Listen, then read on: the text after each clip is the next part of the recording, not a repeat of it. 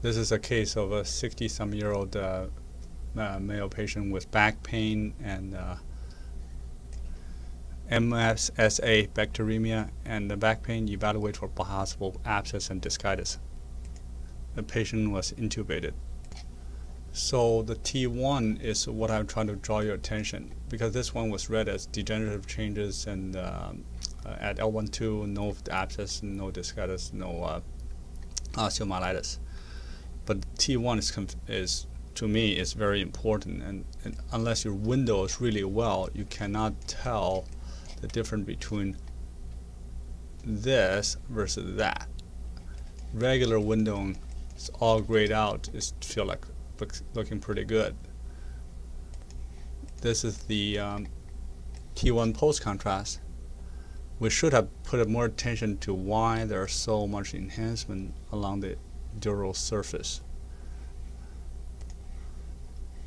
And uh, we should have uh, caught the uh, why the sac so effaced every uh, at many levels. Even though they look like fat, but they did not really uh, fat suppress. And then we did not identify this thing, which I uh, later found out. Hmm. And we did not identify, uh, let's see what the, there's some fluid here too. This is axial post-contrast, basically effacement and uh, epidural contrast enhancement. This is May 28. Another thing that sh we should learn that the diffusion, you have to find out why this is white line, white line, and then at the bottom there's no white line.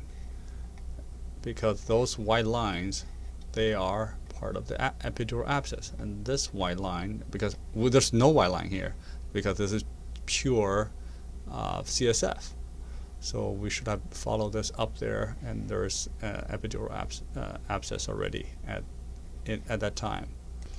So I performed this study uh, three days later, cervical spine. You can see uh, entire epidural is filled with pus, prevertebral, um, soft tissue swelling in the prevertebral space, mm. and the abscess in the longus colli muscle, uh, which is here, from here to here.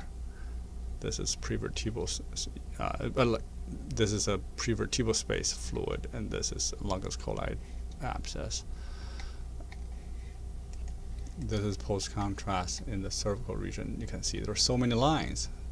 One line, two line, three line, four line. It's really the epidural. Uh, the dura is from here is here and here. Everything else is an abscess, uh, and then terminate here. Uh, stop basically terminate at the most superior part of the cervical region.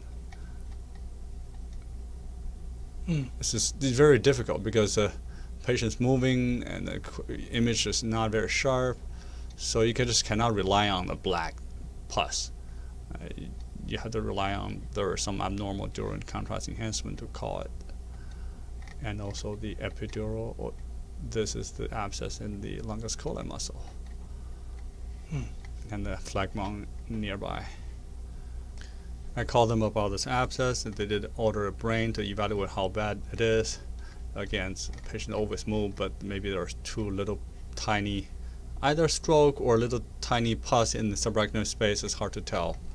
Uh, but overall, the brain looks okay. And then the thoracic spine, again, T1 is our helper you have to really window it. Maybe there's some sparing of the CSF here. There's all pus here, grayish. So basically, we use a T1 to as a cheap way of FLAIR to uh, to separate this normal CSF from pus. There's not much left. There's not much normal CSF left.